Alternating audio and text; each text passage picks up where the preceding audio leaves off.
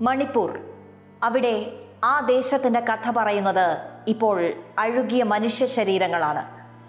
കലാപത്തിന്റെയും പലായനത്തിന്റെയും മുറിപ്പാടിന്റെയും മരണത്തിന്റെയും ഇരുന്നൂറിലേറെ ദിവസങ്ങൾ അടയാളപ്പെടുത്താനും പുറത്തറിയിക്കാനും ജീർണിച്ച ജീവനറ്റ ശരീരങ്ങൾ മാത്രം. കലാപത്തിന്റെ ആദ്യ നാളിൽ കാണാതെ പോയവർ പലരും മടങ്ങി വന്നിട്ടില്ല. അവരുടെ കഥ പറയാൻ വൈക്കോലും മരക്കഷ്ണങ്ങളും കൂട്ടിക്കെട്ടി വെള്ള തുണി പുതപ്പിച്ച സാങ്കല്പിക മൃതദേഹങ്ങളും. മണിപ്പൂരിൽ ഒന്നും പഴയ പടിയായില്ലെന്ന് തിരിച്ചറിഞ്ഞതും അറിയപ്പെടാത്തതുമായ മൃതശരീരങ്ങൾ ഓർമ്മപ്പെടുത്തുകയാണ്. നമ്മൾ കേട്ടുശീലിക്കാത്ത മുന്നറിയിപ്പാണത്. ഇക്കഴിഞ്ഞ ഇരുപതാം തീയതി മണിപ്പൂരിലെ ചുരാചന്ദ്പൂരിൽ നടന്ന കൂട്ട ശവസംസ്കാരം മനുഷ്യ മനസാക്ഷിയെ മരവിപ്പിക്കുന്നതായിരുന്നു. തിരിച്ചറിയാൻ കഴിയാത്ത വിധം അഴുകിയ നിലയിൽ കുക്കീസോ വിഭാഗത്തിൽപ്പെട്ട എൺപത്തിയേഴ് പേരുടെ മൃതദേഹം അവിടെ സംസ്കരിച്ചു.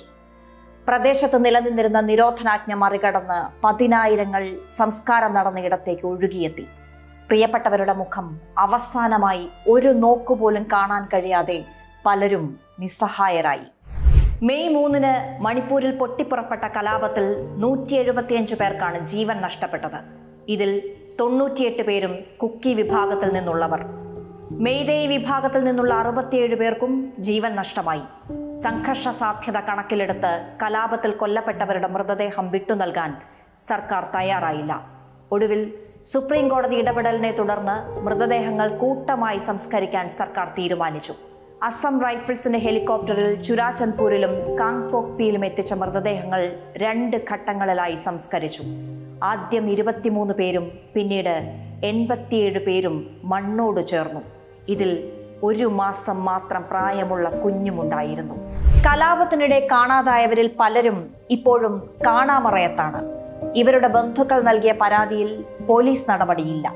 പലരും ഇവർക്ക് വേണ്ടിയുള്ള കാത്തിരിപ്പ് തുടരുകയാണ്. കലാപത്തിനിടെ മുപ്പത്തിരണ്ട് പേരെയാണ് കാണാതായത്. രണ്ട് മാധ്യമ പ്രവർത്തകരും രണ്ട് സ്ത്രീകളും പ്രായപൂർത്തിയാകാത്ത രണ്ട് പേരും ഇതിൽ ഉൾപ്പെടുന്നു.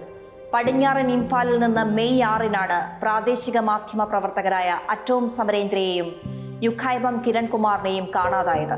തൊട്ടടുത്ത മാസങ്ങളിൽ ടെക്നോപാൽ ബിഷ്ണുപൂർ കാങ്പോക്പി തൗബൽ കാങ്ജിങ് ജില്ലകളിൽ നിന്നും മിസ്സിംഗ് കേസുകൾ റിപ്പോർട്ട് ചെയ്തു. ഇതിനിടെ ചുരാചന്ദ്പൂർ സ്വദേശിയായ മുപ്പത്തിരണ്ടുകാരൻ ഖാമ ജാഹുവിനെ കാണാതായി. പോലീസിൽ പരാതി നൽകിയ ബന്ധുക്കൾ ദുരിതാശ്വാസ ക്യാമ്പുകളിലടക്കം തങ്ങൾക്കാവുന്ന വിധത്തിൽ അന്വേഷണം നടത്തി. ഒടുവിൽ അവരുടെ അന്വേഷണം ഡിസംബർ ഒൻപതിന് അവന്റെ മരണവാർത്തയിൽ അവസാനിച്ചു. കലാപത്തിൽ കൊല്ലപ്പെട്ടവരുടെ മൃതദേഹം സൂക്ഷിച്ച മോർച്ചറിയിൽ തണുത്തുറഞ്ഞ് തിരിച്ചറിയാൻ കഴിയാത്ത വിധത്തിൽ ഖാമ ജാഹുവിന്റെ മൃതദേഹമുണ്ടായിരുന്നു. കുക്കി വിഭാഗത്തിൽ നിന്നുള്ള എട്ടു പേർ ഇനിയും കാണാമറയത്തെന്നാണ് പ്രാദേശിക സംഘടനയായ ഇൻഡിജിനസ് ട്രൈബൽ ലീഡേഴ്സ് ഫോറത്തിന്റെ ഭാരവാഹികൾ ചൂണ്ടിക്കാട്ടുന്നത്. അവർ കൊല്ലപ്പെട്ടേക്കുമെന്നുള്ള ആശങ്കയും ഐ ടി എൽ എഫ് പങ്കുവെക്കുന്നുണ്ട് ഡിസംബർ പതിനഞ്ചിന് ഇംഫാലിൽ ഒരു പ്രതീകാത്മക സംസ്കാര ചടങ്ങ് നടന്നു. മനുഷ്യ ശരീരത്തിന് പകരം മരപ്പലകകൾ കൊണ്ട് നിർമ്മിച്ച രണ്ട് മനുഷ്യരൂപങ്ങളാണ് അവിടെ എരിഞ്ഞമർന്നത്. മാധ്യമപ്രവർത്തകരായ അറ്റോം സമരേന്ദ്രയുടെയും യുഖൈബം കിരൺകുമാറിന്റെയും കുടുംബാംഗങ്ങളാണ് പ്രതീകാത്മക സംസ്കാര ചടങ്ങ് നടത്തിയത്. സമരേന്ദ്രയും കിരൺകുമാറും തിരിച്ചു വരുമെന്ന പ്രതീക്ഷയറ്റതോടെ കുടുംബത്തിലെ മുതിർന്നവർ പ്രതീകാത്മക സംസ്കാര ചടങ്ങ് നടത്താൻ തീരുമാനിക്കുകയായിരുന്നു. കലാപത്തിനിടെ കാണാതായ രണ്ട് കുട്ടികളുടെ കുടുംബവും പ്രതീകാത്മക സംസ്കാര ചടങ്ങ് നടത്തി. സോഷ്യൽ മീഡിയയിൽ പ്രചരിച്ച ഒരു വീഡിയോയിൽ കുട്ടികൾ കൊല്ലപ്പെടുന്നത് കണ്ട കുടുംബം അവർ തിരിച്ചു വരില്ലെന്നുറപ്പിച്ച് സംസ്കാര ചടങ്ങ് നടത്തുകയായിരുന്നു. ഭരണകൂട പിന്തുണയോടെ ഒരു വിഭാഗത്തെ ലക്ഷ്യം വെച്ച് അടുത്തിടെ രാജ്യത്ത് നടന്ന ഏറ്റവും വലിയ വംശഹത്യയാണ് മണിപ്പൂരിലേത്.